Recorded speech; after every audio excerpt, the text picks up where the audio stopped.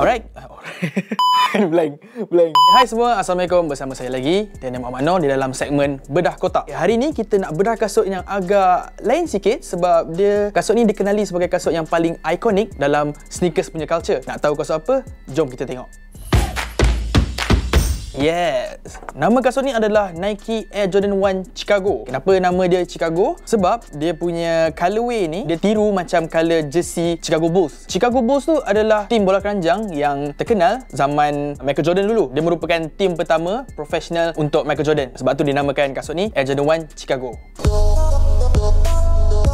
Okey, ingat tak episod sebelum ni kita pernah review satu kasut iaitu Air Jordan 1 Off-White. Inilah color asal dia kira off-white tu dia ambil inspirasi daripada kasut ni lah. Ini yang digelarkan sebagai OG lah OG punya colorway iaitu maksudnya original punya color lah. Contoh every time uh, kasut every time. Contoh setiap kali ada keluaran baru uh, yang menggunakan color asal okay, kasut tu akan digelarkan colorway OG Okey, jom kita tengok apa bahan yang digunakan dalam kasut ni. Semua bahagian atas ni adalah menggunakan kulit ataupun full leather orang panggil. Tapi leather yang ada pada kasut ni adalah lebih premium daripada yang biasa punya. Sebab kalau korang boleh nampak, dia macam agak berkedut. Kedutan yang ada pada kasut ni sebenarnya menunjukkan kualiti yang terbaik yang ada pada kasut ni. Itu yang sebenarnya dicari-cari oleh setiap sneakerhead yang ada kat dunia ni pada sesuatu kasut. Macam yang hari tu yang off-white tu ada macam tulisan, ada gantung-gantung, ada macam terkoyak-koyak apa semua. Macam ni dia simple je. Memang lawa.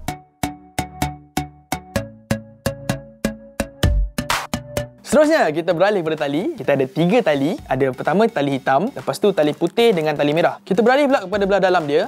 Belah dalam dia berwarna hitam tetapi dia menggunakan bahan yang agak lembut sebab dia nak membenarkan kaki kita bernafas. So, bila kita pakai nanti, dia tidak panas. Okey, sizing untuk kasut ni dia agak pelik sikit sebab contohnya macam kalau korang pakai saiz 8, saiz 7.5 pun korang boleh muat. Tapi ikut suka korang lah kalau nak sizing macam mana, ikut keselesaan anda semua. Kemudian kita beralih pula kepada midsole dia. Okey, midsole ni ataupun yang bahagian tengah ni. Sebelum ni dia warna putih, tapi setelah lama dia akan sedikit kekuningan lah. Tapak dia pula warna merah, sama seperti warna merah yang ada dekat bahagian atas ni. Macam saya cakap tadi, kasut ni memang simple dan kemas. Tak perlukan benda-benda lain untuk serabutkan kasut ni. Dengan warna ni saja dah boleh melambangkan Michael Jordan dan juga pasukannya Chicago Bulls.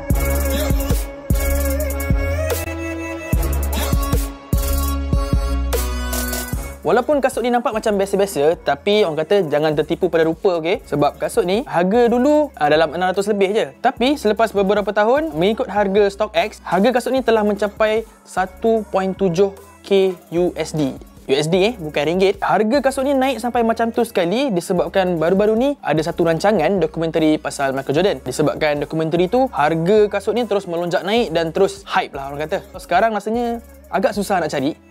Melainkan kalau ada kawan-kawan yang reseller, ah, maybe adalah kasut tu tapi dia punya harga memang tinggi. Okey, bagi pendapat saya kasut ni memang lawa, memang ikonik. Tetapi pada harga sebegitu agak keterlaluan. Tapi kalau dapat pada harga yang 600 tu memang saya belilah. Tak cerita banyak. Rasanya sampai di sini saja segmen kita untuk hari ini. Jumpa di segmen yang akan datang.